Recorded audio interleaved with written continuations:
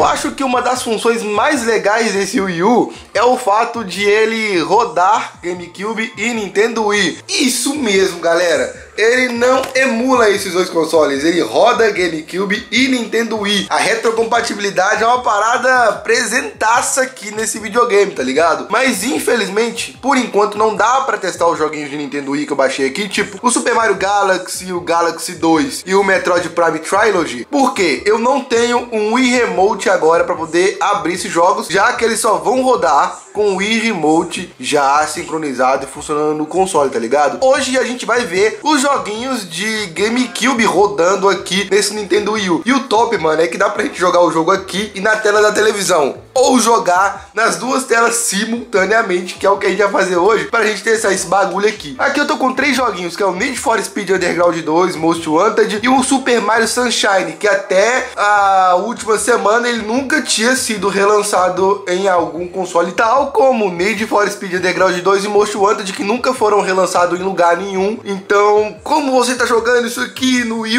mano Jobs? Eu fiz uma conversão dos joguinhos de GameCube para Virtual Console utilizando um programinha muito doido aqui no computador, tá ligado? O IVC Injector.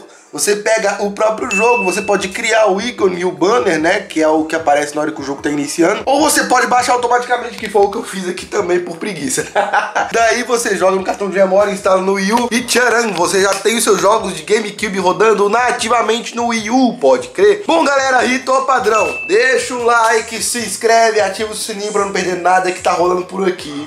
Porque eu vou ter que comprar um tripé novo. Esse tripé tá me acompanhando desde quando eu inventei de criar canal no YouTube. E ele não tá mais segurando o posicionamento vertical, saca? Eu tenho que ficar fazendo gambiarra pra esse negócio prender. Eu vou dar uma olhada nisso assim que eu terminar de fazer esse vídeo. Bom, meus jovens, vamos escolher um joguinho interessantíssimo que eu já cheguei a rodar o Super Mario Sunshine, né não? Então vamos abrir ele aqui de novo só pra gente esquentar um pouquinho o corpo, tá ligado? Aqui a gente vai ver se a gente quer utilizar o gamepad do Wii U, né? Claro, que é a única coisa que eu tenho pra controlar o Wii U aqui. aqui costuma aparecer uma configuração se a gente quer utilizar a tela da TV junto, tá ligado? Eu acho que isso aparece quando a televisão tá desligada, se eu não me engano. Tudo que aparecer na tela da televisão vai aparecer na gamepad também. E a gente pode conferir esse bagulho sem ter nenhum tipo de delay, né, velho? Olha que da hora. Uh, o único complicado é que, tipo assim, a imagem fica um pouco serrilhada, sabe? Os jogos ficam bem bonitos aqui porque é como se a gente tivesse com uma entrada componente com conversão para HDMI do próprio GameCube, ou seja, a gente não tem um aperfeiçoamento de imagem pro GameCube. É o jogo, jogo mesmo rodando nele, tá ligado? A gente tá vendo o jogo rodar na televisão, né? Não, eu vou mutar esse bagulho aqui e vou levantar o áudio da gamepad. Que eu sinceramente acho que é melhor do que o do Switch, tá ligado? E aqui a gente tem uma imagem muito boa, sabe? Eu não acho que a tela do Wii U tem uma qualidade de cor tão boa assim, sabe? Eu sei lá, velho. Eu tenho a impressão que a imagem aqui tá um pouco opaca comparada à imagem da televisão. A gente tá tentando comparar um LCD com uma tela LCD de LED, né? Não, então não tem nem comparação. Na verdade tem, né, mano? Porque são telas, e telas a gente compara mesmo. E o que que pega? Tá rodando muito bem, mano. Porque, igual eu falei com vocês, ele roda, ele não emula. E essa é a vantagem do Wii U comparado a alguns outros videogames que não tem retrocompatibilidade aí, tá ligado? Roda nativão. E essa imagem aqui tá em 480p, mano. A gente vai ver uma imagem muito serrilhada ali. Deixa eu, deixa eu aproximar a câmera ali pra vocês entenderem do que, que eu tô falando. Porque de longe a imagem fica legal, fica bonitinha assim, velho. Esse Mario Sunshine é bonito. Mas olha esses serrilhados aqui.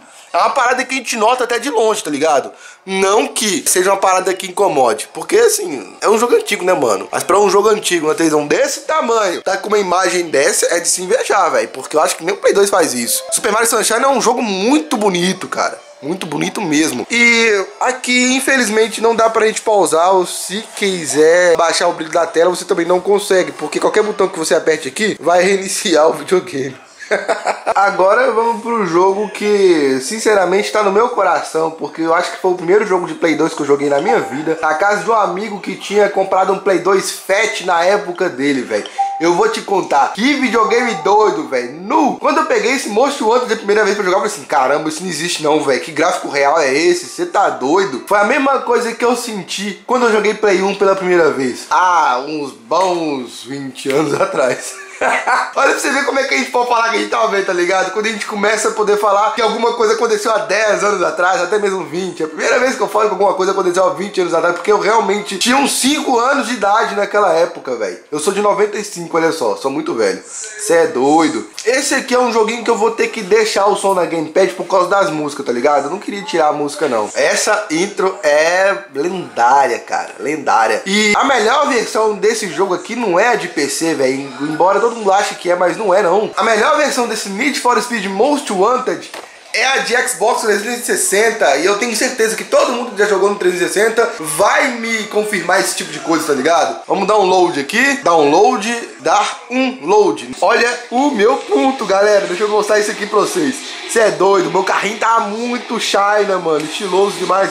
Ó, você é doido, olha aqui esse body kit, mano muito bom, velho. É o mesmo gráfico que a gente via no Play 2, tá ligado? Só que na televisão a gente tem aquele probleminha do serrilhado. Tudo parece uma resolução muito mais baixa. Parece até que a gente tá forçando uma resolução ultra baixa numa tela muito enorme. E é praticamente isso, né, velho? Um 480p na televisão dessa, nativão, ele ficaria serrilhadão assim, sabe? A primeira vez que eu joguei isso na tela da televisão, eu estranhei muito, porque é claro que quando eu peguei joguinho pra testar, eu coloquei ele primeiro na gamepad pra jogar e joguei bastante tempo assim, tá ligado?